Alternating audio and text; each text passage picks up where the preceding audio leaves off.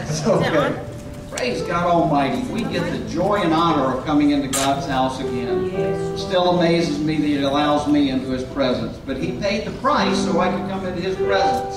Isn't that amazing? He wanted us here in His presence so much that He died so that we could be here. And that's amazing to me. Let's go before the Lord God Almighty. Thank you, Lord Jesus, for your word for your word, not mine, Lord God. Thank you, Lord Jesus, that you chose us we didn't choose you, Lord God. Thank you, Father, for your mercy and your grace on our lives, even when we don't deserve it, which is all the time, Lord God. But you pour out your grace upon us, Lord Jesus. You come and rescued us out of the land of Egypt, Lord God, out of our own sin and out of the miry clay you picked us up. Now, Lord Jesus, open our eyes to see what you would show us today. Open our ears to hear what the Spirit says to the church today, Lord God. Oh, Lord Jesus, let us bring you honor and glory with everything we do. In Jesus' holy name, amen and amen and amen. You know, last week I was sharing that uh, that the Lord revealed to me some 27 years ago when I was ordained as a pastor that I would be preaching to the church in the end times and we're in the end times. That there would be times coming that would require us to really dedicate our lives to Him. The church has been going along for almost 2,000 years now, at least 1,900 years, just kind of lollygagging along. You know, it's interesting the way things have gone over the last couple of uh, thousand years almost. The church started out in much persecution. Remember, we're reading the book of Acts. Isn't that interesting that we're reading the book of Acts? And they started out in much persecution, uh, much uh, uh, maligned by the governments of their time and by the uh, religious structure of their time. The people did not want to hear that Jesus was the Messiah, and they turned their backs on him. And now we are seeing we always keep saying we want to be like the first church, right? The early church. Well, we are about to watch that ramp back up. We had high persecution and then it leveled off for a long time. And now we're seeing it come back full circle, come back to another level once again. We are seeing the world reject God Almighty in a way that's unprecedented on the earth. Well, it was before the flood the same way. And what did God do in the flood? Oh, He kind of judged that, didn't He? He judged the earth because of the sin that was therein. He says, I can't allow them to continue on. He saved out a remnant. He saved out a small remnant and kept them safe. It sounds kind of like almost what He's going to do for us. He's going to take us out and hide us away until He can deal with this earth but we don't know how bad it's going to get here on this earth before it happens, before He comes to get us. We need to make sure that we are awake and paying attention because right now, the way the world is going, they are wholesale rejecting the Lord God Almighty. With some of the, the court rulings lately. We are now in a new time of persecution in the church. Just beginning. This is the beginning of the birth pains. Amen? The beginning of birth pains. We used to have what we call a moral majority. Remember back in the 80s and even into the 90s, we had the, the moral majority. The majority of the, the, this country, anyway, had morals still and they would uh, rise up against the sin and the dis, disunity in the, in the world. And whenever someone would try and rise up, the moral majority would go, no, we're not going to go for that. That's just crazy. We're not going to allow that. But now that has gone away. It has waned to the point to where now we have an immoral majority. The majority of the world today is rejecting God and His commandments Everything that he had put in place, they are rejecting it and saying, We do not want any of that. We are demanding our rights to sin. They are demanding their right to sin. Mm-hmm. And if we don't watch it, we can find ourselves as the church falling into the same thing. not arising from our slumber in time, and we can Yeah. easily find ourselves in trouble. That's why it says, as Brother Bill quoted this morning, Yes. not to forsake the gathering of yourselves together, as is the manner of some, and even more so as you see the day approaching. Boy, if we don't see the day approaching now, we have got to be blind as we can possibly be. When they are calling good evil and evil good, you can read the paper. We've got, I, I've cut out a couple of things from the, uh, the paper here just this week. This was, I think, Friday, if I'm not mistaken. Someone wrote into the opinion page, says, We have just celebrated Independence Day, but too much independence is a bad thing. Our nation is becoming more and more independent from God. There is no more one nation under God. They have rejected that completely. Statistics say we are a Christian nation, but a Christian nation would not countenance, financially support, or allow itself to be influenced by the immorality, violence, and taking God's name in vain that are rampant in the media. Even many churchgoers seem to have no compunction about the casual and exploitive use of the name of God, mindlessly absorbing it like other cultural norms from so much exposure to it. We're getting deaf to it, we're getting blind to it, and it's no big deal anymore when people blaspheme God. Mm-hmm. And and the violence that we're seeing, and we're just kind of growing numb to it. It's like it's the norm now. It's the new norm. I don't like the new norm. I don't want anything to do with the new norm. We will not live our lives like that. We cannot live our lives like that. True Christians love uh, homosexuals and treat them with respect, like we were talking about on Wednesday night. True Christians love them and treat them with respect, despite their insistence that they do. Uh, they are labeled homophobes if they do not approve of homosexual activity. We love the person, but we don't like the sin. We're not going to approve of their sin, we will still love them. They're just like any other unsaved person that's out there doing whatever they're doing and rejecting God. We cannot pick and choose certain uh, sins that we uh, esteem higher, more sinful than others. The people are still the same. God still loves them just as much as He loves anyone else on this earth. But He does not approve of their activity, their lifestyle. And we cannot do that either. We have to take the stand. And we do here. Our legislatures and even our Supreme Court make human laws that defy God, laws concerning marriage. Those who disagree are often met with hostility. Our nation is traveling the road of perse- to persecution of Christians, which begins with stereotyping and advances to vilifying, marginalizing, criminalizing, and persecuting. Everyone, including atheists, should reject this because they are next. It, wa- it is a step toward totalitarianism. In other words, they rule everything. We will always be children in relation to God. We will always need to depend on Him.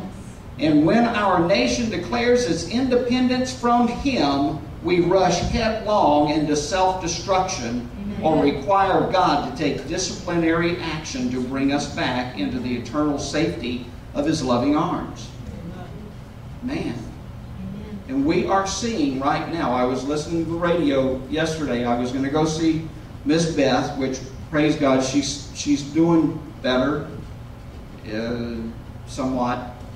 Uh, but she's still in an ICU. But I kept saying, Lord, isn't it time for me to go? Isn't it time for me to go? And I kept getting delayed and delayed. Well, he waited until I could get in the car and hear a couple of stories on the radio.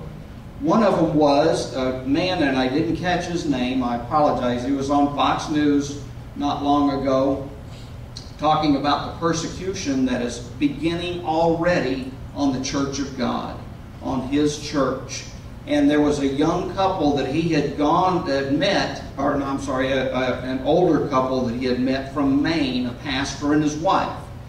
And they were weeping and they had taken the stand, and what had happened, they had taken a stand against homosexual marriage, and against the homosexual lifestyle, standing up for the Word of God. The Word of God is clear. And they went to church one day and someone had painted a swastika on their church. This is just this past week in the United States of America in Maine. They are painting a swastika on the church and claiming that evil is good and good is evil.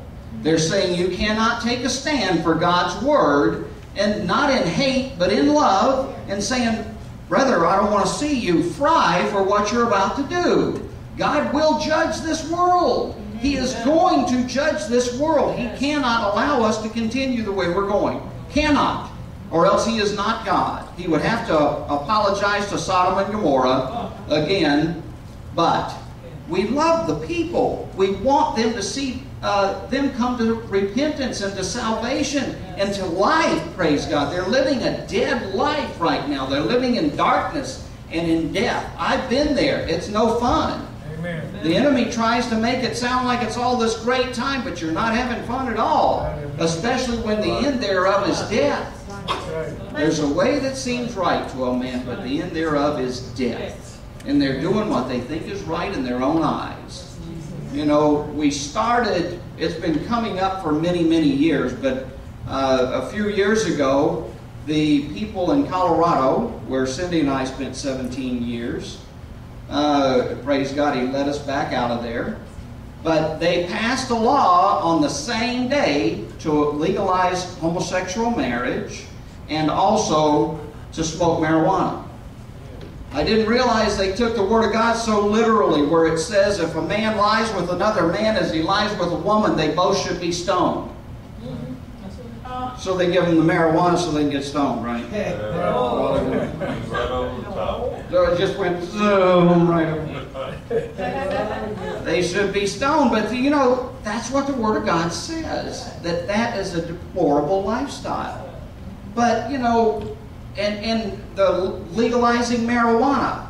I smoked a lot of marijuana in my time before I came to the Lord God Almighty. Amen. And it is not that good of a thing. It gets you so foggy you can't see straight. Right. And they're starting to realize that as now that they've made it legal there, and they uh, now they're trying to figure out what to do with all these people that are driving around town stoned out of their mind. They don't know what to do with it now. They're, they've created a whole new group of problems that they didn't know about before, right? Amen. It took me literally a year and a half to come out of the fog. Yep. Isn't that something? Yeah, but it's okay. You know, there's nothing wrong with it, man. Yep. No, there's something wrong with it, man. Amen. Praise God. We cannot go by our own brain's ration- rationalization. That's right. But they are starting to call good evil and evil good. There is a, a even when they pass this gay marriage uh, ruling, there's no law, it's a ruling from our Supreme Court of this nation, which is just shocking. But one of the uh, Supreme Court judges rose up and said, wait a minute, this can open a whole big can of worms if someone's standing up for their religious freedom and speaking the Word of God. This can cause a whole lot of trouble. And they're going, oh, no, no, no, that's not going to happen. We wouldn't do that. We wouldn't go taking away their, their tax exempt status and things like that. No, we wouldn't do that. No, right. Uh-huh. See, when the when the Nazis came to power, we have something within many of our lifetimes to use as an example. When the Nazis came to power, they didn't immediately start persecuting the Jews. They didn't immediately start wholesaling, gathering them up, and throwing in, them into the ovens and into the gas chambers. What did they do? They started marginalizing them. They started making them sound like they were the real bad guys of the group. Does that sound familiar to anyone? As to what's happening right now on our earth? That's what's happening while we are sitting here right now. This is happening now. We cannot be just sit, sticking our heads in the sand and going out to play baseball or whatever else we're out there doing on, on the, the day of God's time to come before His throne of mercy and grace, to come into His presence and hear His word. It is time to be in the house of God and hear what God is saying to His church. It is. Turn with me, if you would, into the Gospel of Matthew, chapter 25. Matthew 25. I had had a really good message all put together, and maybe God will let me bring that one next week because He decided to change that at 6 o'clock this morning. Uh, I had not planned on speaking on this at all. I had a whole other thing, but praise God, this is what God said He wanted to say to His church, this church here today. And I know He's speaking to people that may be listening on the internet and by video. Matthew 25, starting in verse 1. now, you got to get the context of what's going on here. They had just asked him in, in chapter 24, his disciples asked him the question when will all the God Jesus was talking about, God was talking about the destruction that's about to come on the earth. And so they asked him, Tell us when will these things be, and what will be the sign of your coming and the end of the age? So he proceeded to answer the first question about the tribulation. He talks about the tribulation in there, chapter 24. And then he starts talking about his, the second coming and all that. And then he starts talking about what's going to happen in the end times. And we are in the end times right now. He says, then, then, now, for us, this is now for us, then the kingdom of heaven shall be likened to ten virgins who took their lamps and went out to meet the bridegroom. What is that? That's the church. That is us. That are the, that are the believers. what that are. That's the believers. That's us. The ten virgins go out, take their lamps, and go out to meet the bridegroom. But look at this, verse 2. But five of them were wise, and five were foolish. Five were foolish. Those who were foolish took their lamps, took no and took no oil with them. But those but the wise took oil in their vessels with their lamps. But while the bridegroom was delayed, they all slumbered and slept. The oil is always in the scripture a symbol of the Holy Spirit. We need to have the Holy Spirit moving in our lives. We can't just have the, the semblance of being a believer. We can't have the, the, the, the salvation without the power thereof. We need to not deny the power of God Almighty in His Holy Spirit. We need to make sure that we have oil in our lamps that we have the fire burning inside, in other words. Amen? You can call, you can have a lamp and say, hey, I'm a Christian, just like I can hold up a hamburger and say, hey, I'm a McDonald's, I'm Ronald McDonald. Well, that doesn't make any sense now, does it? It doesn't make you Ronald McDonald by holding up a McDonald's hamburger, does it?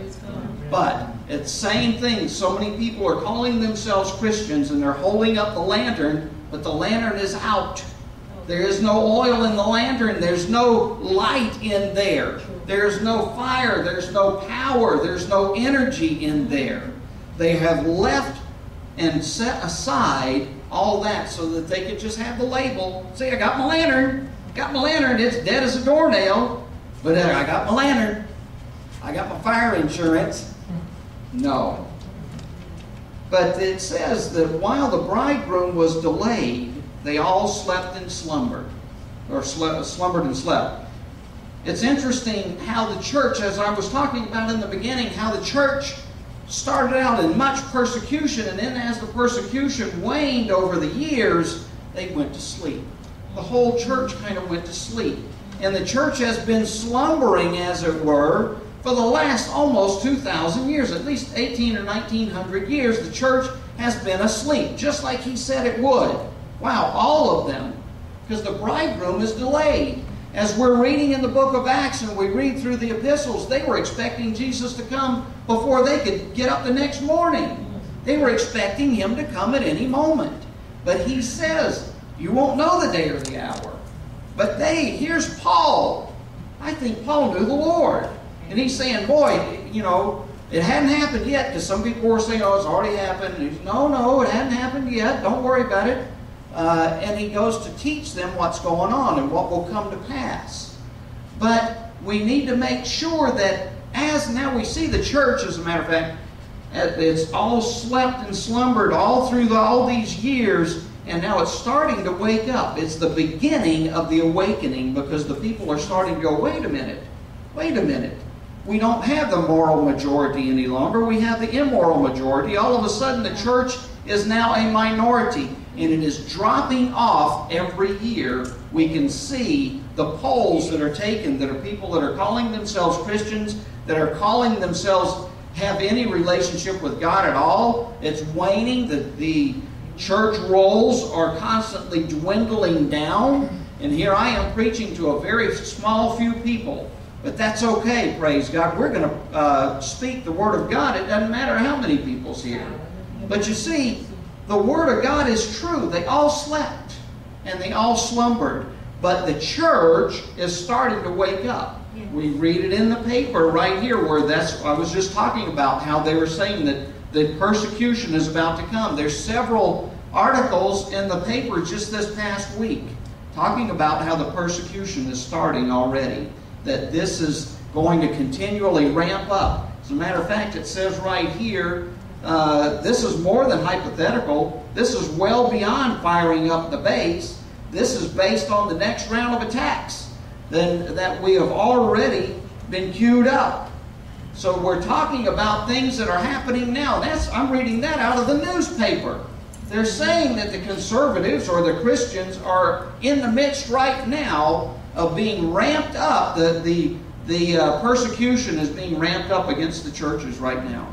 And they're going, they are saying, and it's going to come to pass where the IRS is going to say that you can, if you're speaking out against homosexuality or against any particular sin, that you cannot get your your uh, tax exempt status as a church.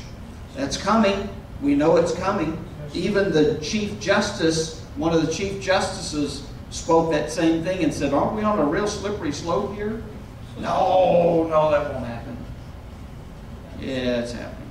Yes, sir. So we need to make sure that we are the ones that are awakening early. Because let's see what happens when the ones that were sleeping continue to sleep and don't get their oil in their lamps. Let's go on. Verse 6 And at midnight, at midnight, when everyone's sound asleep, and the church has been sound asleep for a long time now, hmm. at midnight a cry was heard, Behold, the bridegroom is coming, go out to meet him. We are hearing the bridegroom is coming. There is a cry going out. We can see the times, and we know that the time is here. Then all those virgins arose and trimmed their lamps.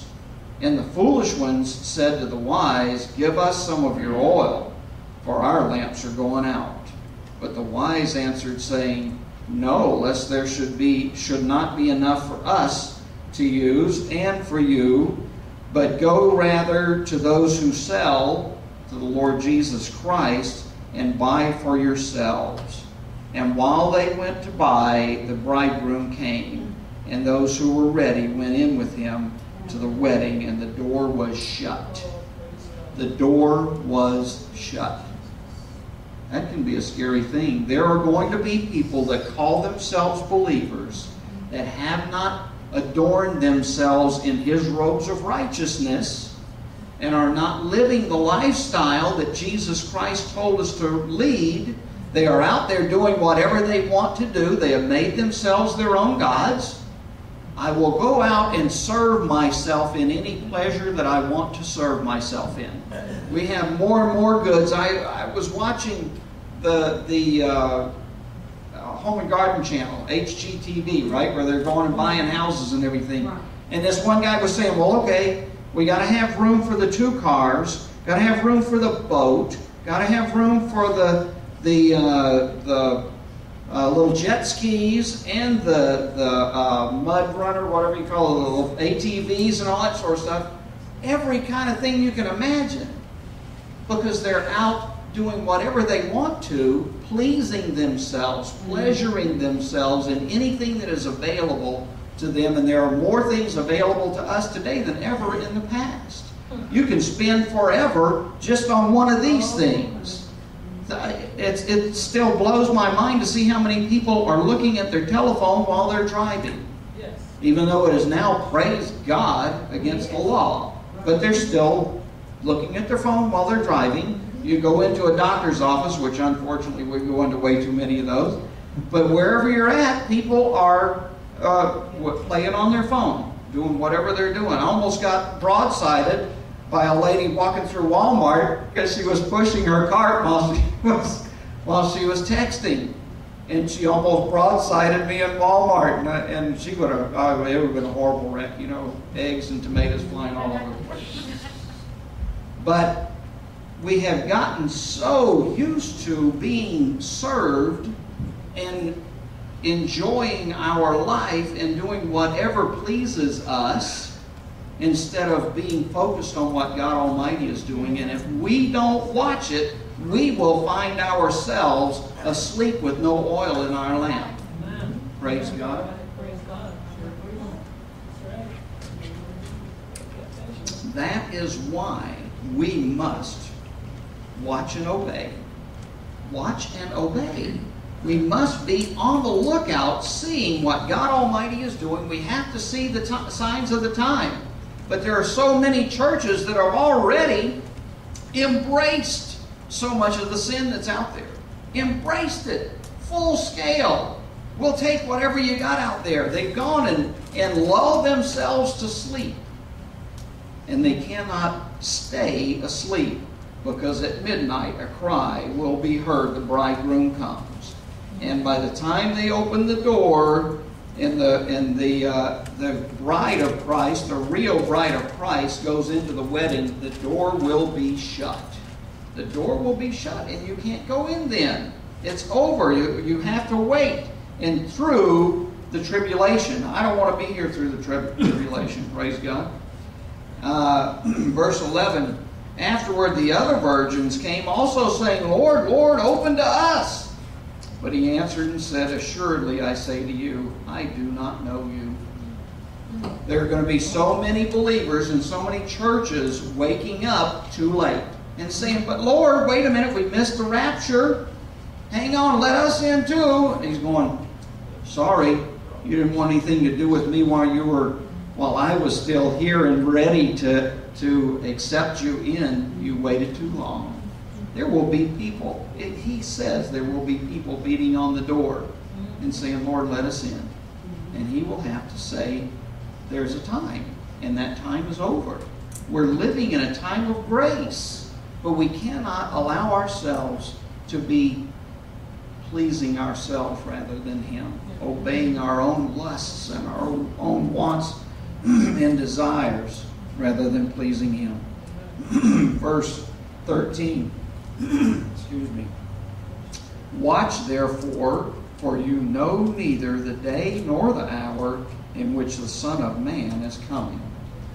He left it that way so that we can't say in the last five minutes, you know, that at 3 o'clock in the afternoon on November 32nd he's going to be here. So at, at one at noon would say, hey, okay, you know, I'm sorry, Lord, I've uh, asked you for forgive me and cleanse me and, and take me with you. He's made it to where he could come at any moment. There really isn't anything else hindering his coming back right now. Amen. He is, I believe, in his mercy, waiting for the last person to be saved that he knows is going to be the last one that accepts him. And when that person comes, we don't know who it is or where it is. it could be in Zimbabwe, or it could be in Sweden, or it could be in Biloxi, Mississippi. I don't know. But he knows. And he knows the day and the hour. He knows the time. We can't be just self serving and watching whatever we want to do, making ourselves our own gods. and, excuse me, I lose my voice too quick. But, but God Almighty is crying out to His people, and we're seeing it even in the newspaper and seeing it on the news, as a matter of fact, to where people are starting to rise up and say, wait a minute, things are really turned in a heartbeat in a very short amount of time. Wasn't that long ago that the, the moral majority was still the moral majority. And just like uh, the Nazis, when they first took over, it only took a handful of years to go from when they took over to just start saying, you know, those Jews aren't really that good of people. And to start ramping it up over and over and, and getting it worse and worse and worse to the point to where within a very few years they were putting them in gas chambers. They were doing that. You think it can happen again? Yeah, I think it can happen again, especially with the media the way we've got it today. The media is on their side to begin with. Amen. They're just welcoming them in, saying, Yeah, how dare these people stand up for the Word of God? Amen. They're calling heroes the people that are mutilating their bodies and calling themselves some gender that they're not. Amen. They're, they're calling them heroes. When you get a call from the White House saying, We're just so proud of you for coming out of the closet. Hallelujah. Man, clean out the closet. Don't come out of it. Yes. Clean it out. Yes. Praise God. Get rid of the sin. Yes. Turn with me to Luke chapter 12. Luke chapter 12. We're going to go all the way to verse 35. This is what I was going to end with from my message I was going to give before God changed it this morning. And interestingly enough, it fits amazingly well with what God changed the first part to. Luke 12 35. Jesus is speaking, so it's always time to listen up carefully, right? It says, Let your waist be girded and your lamps burning. Wow. Does that sound like anything we were just talking about? Now we're out of Matthew, we've skipped over Mark, and we're into Luke. And here he is saying the same thing. Let your waist be girded. What's that mean? They had these long robes on. They didn't wear pants like we were talking about Wednesday night. They wore these long robes. And if you were going to do any kind of activity, working for God or, or uh, running the race or anything like that, you had to pull that thing up and tie it around your waist and get it out of your way to where you could get your feet to moving now, right? Get to working. So let your waist be girded and your lamps burning, just like he said about the parable of the ten virgins. Amen. Let your lamps be burning, full, full of fire. Let your light be shining into the darkness, because my goodness, it's getting dark out there in a hurry. Really, really dark, so fast, it's hard to imagine. The sun set on the day so fast. It took so many of us by surprise. We've seen it coming. We've been saying it's coming for many, many years now, and we are watching it right now. It is actually coming to pass right in our time. So Jesus is saying that we should be girded up, ready to go, and our lamps burning bright, shining, and not turning to the right or to the left, not letting our lamps go out. And you yourselves be like men who want for their master when he will return from the wedding. Well, it sounds exactly what we were just talking about over in Matthew, doesn't it? That we are waiting for our master, not just sitting back like he says in so many other places, oh, my master delays is coming. I'm just out having a good old time. I'm just going to take it easy. And I'll be ready whenever he comes. You know, I can, I can get ready. But he's going to come in a twinkling of an eye and take his church away. And I don't think you can repent in the twinkling of an eye. We have to be ready and waiting for their master when he will return from the wedding, that when he comes and knocks, they may open to him immediately. To where we are, wherever we are when he comes, he's actually going to come sometime soon. We immediately go, Yes, Lord. Now, wait a minute, I'm over here doing this right now. Let me finish this one thing. I, I, I was having so much fun over here doing this thing, right? Doing my own thing. I was having so much fun. Just wait a little bit longer. No, no, no. But immediately we drop whatever we're doing, whatever has consumed us. Now, my favorite show's on. Lord, just give me about 30 more minutes here and it'll be over. And no. What is your God? Is he your God or are you your God? Amen. Are you your own God? Amen. Man, praise God Almighty. But we open the door to Him immediately. Blessed are those servants whom the master, when he comes, will find watching. Assuredly, I say to you that he will gird himself and have them sit down and eat, and he will come and serve them. Wow. God Almighty will come and serve us. Jesus will come and serve us. Isn't that amazing? That he loves us so much. But if he finds us watching and waiting, he is coming to bring us into the Lamb's uh, the, the wedding feast, praise God, the wedding feast. When he takes us, he's going to bring us home as his bride into the feast. And that is what he's talking about here. When we find him, when he comes and finds us watching, he will take us away and he will gird himself and he will sit down and serve us while we're safely tucked away in heaven while hell is going on on earth, while destruction comes upon the earth. He will keep us safe and sound. We will be the bride in the chamber and enjoying the wedding feast. Praise God. But know this that if the master of the house had known what hour the thief would come, he would have watched and not allowed his house to be broken into. Sounds almost like Satan, right?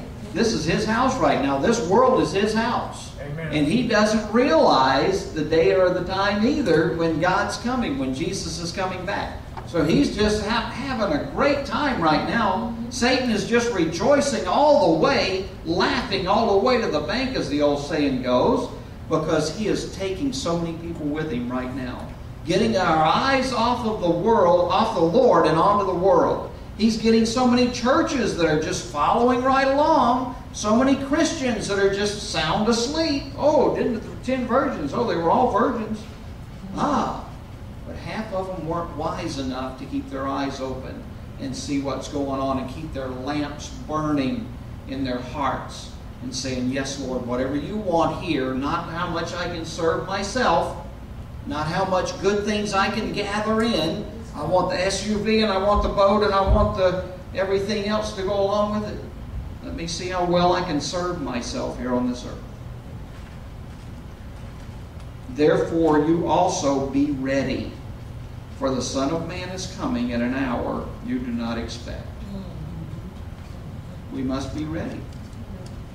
We must be ready. Setting aside all the other things that so easily distract us the sin that so easily distracts us. It's so easy to go on and do whatever you want to. Just flow, just go on with the flow. Again, the Lord just keeps bringing up the same thing. A dead fish can float down the river with everybody else, but it takes a live fish to be swimming upstream against the tide because the tide is flowing the tide of immorality Amen. is flowing. The tide of doing whatever you want to do and serving ourselves is flowing downhill. It takes a stand. Make sure that your lamps are trimmed and your lamps are burning, your, your waist is girded, ready to go and do the work that God has called us to do. Yes, yes, He's yes. called us so many times here lately in this church that we're a body. We're working together as a body. And if one part isn't working, if the heart shuts down, you're done. If your kidneys shut down, you're done. If one of us isn't doing what we're supposed to be doing, it hurts the rest of the body. That's why there's safety in the body. We work together for the good, praise God, of everybody. We should be serving one another he continues to bring up. Love one another passionately and serve one another, putting their lives before our own. Boy, that goes against our own nature now, doesn't it? Putting your needs before my own, but I like myself. and I like serving myself and doing whatever I want to do. But Jesus says, serve your brothers and sisters. Put their needs and their wants and desires ahead of my own. Put their well being ahead of my own well being. My goodness. We're going to come, and we are already coming to the point to where we see our brother without clothing or without food to eat. And if we say, hey, be warm, be fed, we're well fed, and don't do anything, and we go home to our nice feast in our air conditioned house and don't do anything about it, we will be held accountable for that. Yes. We have to be coming together as a body. It's what they started with.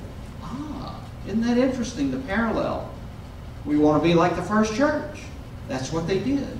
They shared everything together. Am I telling everybody to go sell everything you got and give it all to church? No, I'm not doing that.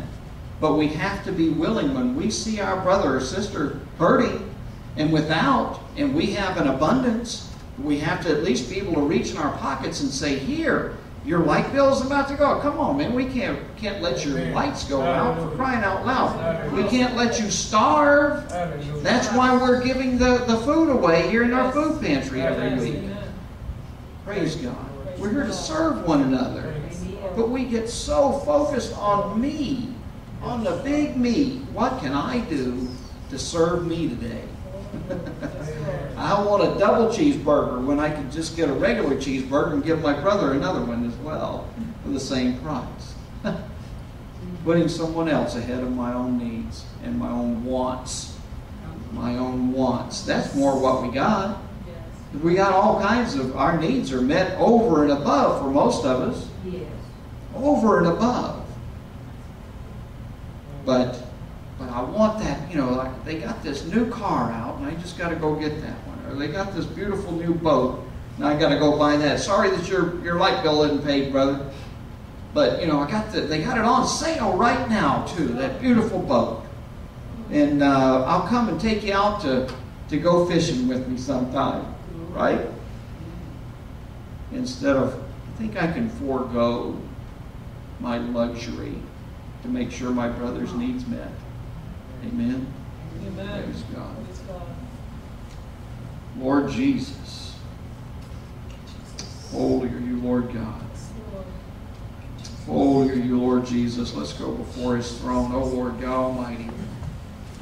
Thank you, Lord, for your word. Lord, you're speaking to us now. You're speaking to us now. And I believe you're speaking to people that are here right now in Jesus' name. Lord God, to lay aside their own wants and desires, to wake up from their slumber and realize the times that we're living in because they really are here. This isn't just an alarmist message. This is what's going on. This is reality, just like it says in the paper for crying out loud. They saw that this isn't just hypothetical, this is actually going on in our world right now. And it is the very beginning, the very beginning of the birth pangs.